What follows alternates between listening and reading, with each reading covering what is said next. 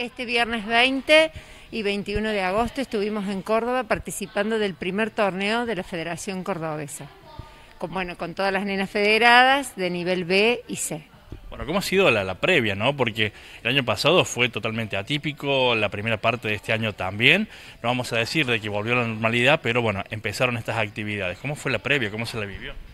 Bueno, la verdad que las chicas estaban esperando ansiosas, ellas y nosotros, esta oportunidad de ir a mostrar lo que hemos trabajado ya en el 2020 de manera virtual y después cuando ya se abrió en agosto pudimos hacerlo de manera presencial y bueno, ahora en el 2021 que ya pudimos hacerlo de manera presencial, con muchas ganas, con mucho entusiasmo, con ganas de participar, de saber hasta lo que habían aprendido. Así que bueno, todos contentos, eh, se hizo el torneo en el Gimnasio Olímpico Argentino el día viernes y en Barrio Parque Capital el día sábado. Esto fue sin público, únicamente gimnastas, entrenadores y jueces. Bueno, contanos, había un poco el tema de la experiencia, ¿no? Esto de no tener al público, por ahí era, no es que era una clase más, pero se trabajaba un poco más tranquilo, ¿no? Sobre todo las chicas. La verdad. ¿O no? Sí. Fue lo primero que dijimos cuando terminó el torneo. No hubo llanto, no hubo capricho, no estaban los padres, no.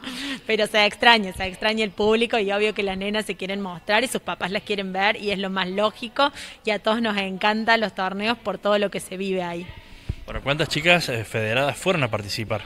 Este año tenemos el equipo conformado por 13 gimnastas entre nivel B, nivel C1 y nivel C2. Así que las 13 fueron a participar, por supuesto. Bueno, con resultados muy interesantes, eh, lindos premios, lindos puestos, se trajeron a Villa Rosario después de tanto tiempo sin participar de, de estas competencias. Sí, la verdad que estamos orgullosas, estamos felices, creemos que ellas también. Eh, obtuvieron muy buenos puestos y quienes no los lograron es porque es el primer año de competencia, porque se pusieron muy nerviosas, pero seguramente vamos a seguir trabajando y van a lograr los objetivos de ellas y los nuestros. Bueno, ¿cómo fue este, este tiempo de pandemia trabajar con las chicas? Y fue remar en dulce de leche. no, en lo virtual fue muy complicado. La verdad que ya nos veían y no querían saber más nada. Volver a lo presencial nos ayudó mucho. Eh, y bueno, el equipo hace de enero que está entrenando, no pararon nunca. Tuvieron dos semanas de vacaciones y hace de enero que estamos y bueno, se merecían este torneo y mostrarse. Bueno, las presentamos a las chicas entonces y vemos cuáles fueron los resultados. Bueno, el día viernes compitió en nivel B3, primer año en este nivel, categoría infantil, 11 y 12 años, Luisina Caravante. Ella salió campeona provincial de su nivel. El día sábado en Barrio Parque comenzamos con el nivel C1 en la categoría infantil, Lara Red.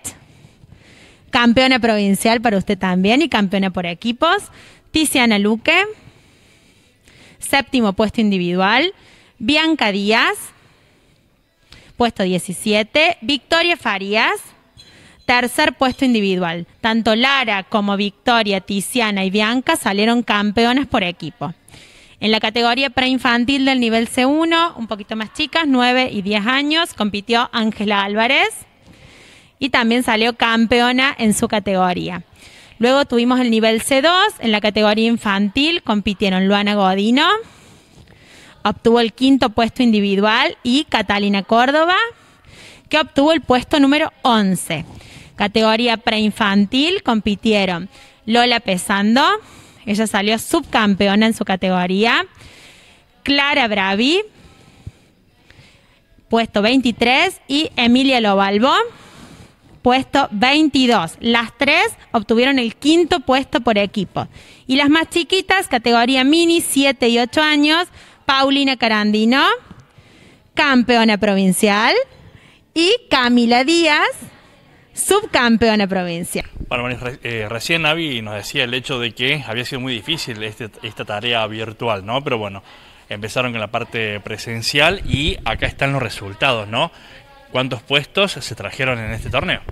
Sí, muchísimos. Todas vinieron con medallas, entonces nosotros súper orgullosas.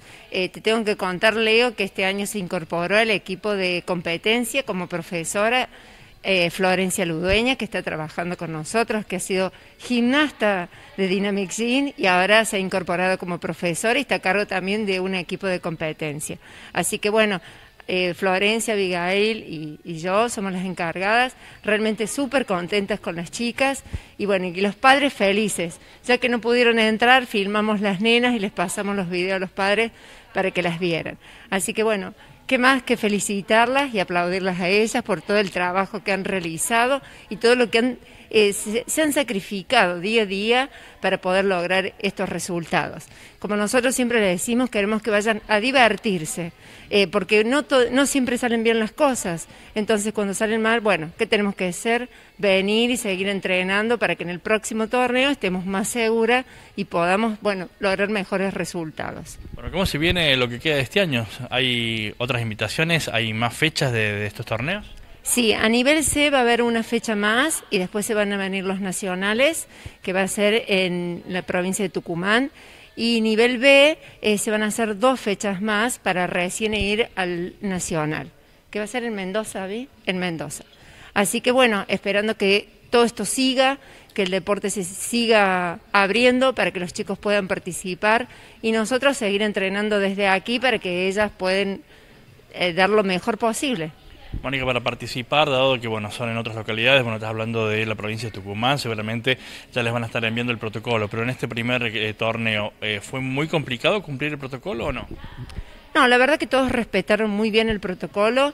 Eh, los padres dejaron a, las a sus hijas en la puerta del club, nosotros las recibíamos, como siempre, el tomar la fiebre, el alcohol, la separación de los grupos. Y bueno, en el momento que eh, ellas competían estaban en la entrada en calor con barbijo y después en la parte de competencia no era el único momento que se sacaban el barbijo. Así que se respetó muchísimo, los espacios fueron muy amplios en, en los clubes, así que creo que bueno, que salió bien por todo esto, ¿eh? porque todos respetamos, tantos profesores, jueces, eh, gimnastas y padres, respetaron todas estas normas nuevas que ahora tenemos que, bueno, trabajar así, en esta forma. Así que bueno, realmente orgullosas de nuestras dinámicas, como le decimos nosotros, y bueno, a seguir trabajando para los futuros torneos.